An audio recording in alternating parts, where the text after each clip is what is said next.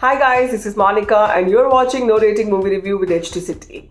And today I'll be talking about the film Suraj Pe Mangal Bhari, which is the first film that's releasing in theaters on November 15th after 8 months of nationwide shutdown.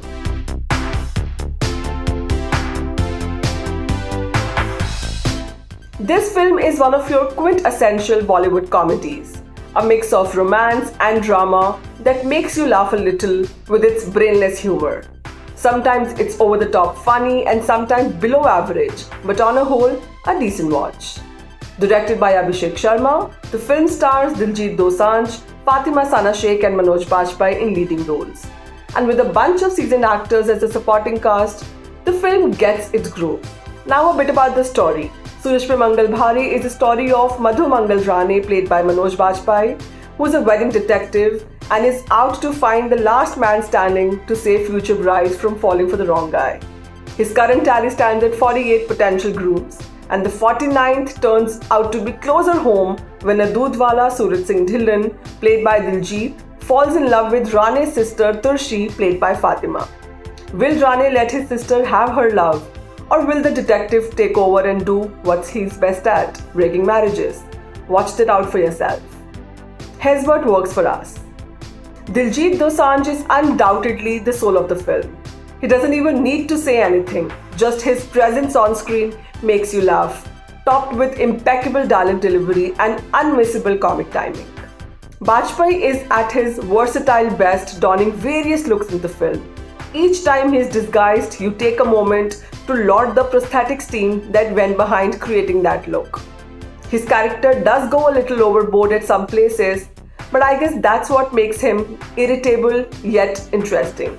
With such a strong supporting cast including actors Manoj Pahwa, Seema Pahwa, Annu Kapoor, Supriya Pilgaonkar and others, the film is high on performances and each one plays their part pretty well and at no point looks forced in the narrative. The film's catchy and peppy music makes it for a wholesome album. The item song Basanti is a perfect party number, while title track is something that you like to take home with you. The songs Bad Boys and Ladki Drame Baz stay with you for their quirky lyrics.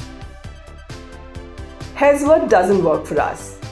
The film is problematic at many places where it sounds overtly sexist and misogynist. But you can't really blame it on the writers. सुंदर सुशील लड़की चाहिए जो mummy को kitchen में घुसने ना दे और husband को बेडरूम से निकलना ना दे और पढ़ी लिखी नहीं है तो घर का काम तो करेगी If these are the dialogues that make our audience laugh, it's a clear case of demand and supply. So why complain?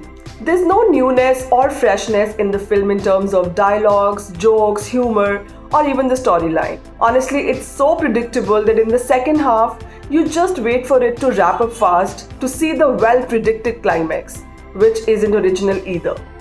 Supriya Pilgaonkar as Manoj Bajpayee's mother is such a misfit. I mean, really, what was the casting director thinking while deciding on this awkward mother son duo? And let me tell you, in real life, Manoj is only two years younger than Supriya. So she definitely needed way more than a few grey hair to actually look the part. Also, there is something terribly off about Fatima's screen presence, be it her dialogues, expressions, looks, or even body language. Everything just seems so off. She doesn't look at all comfortable in her skin. Even her on screen chemistry with Dosanjh fails to create any sparks.